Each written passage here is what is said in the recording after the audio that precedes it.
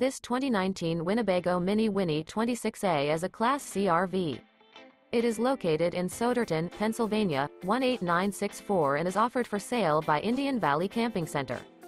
This used Winnebago is 27 feet 1 inch in length and features three slide-outs, sleeps 6, refrigerator, stove top burner, LP detector, smoke detector, water heater, auxiliary battery, slide-out, awning, skylight, DVD player, and 40 gallons fresh water capacity.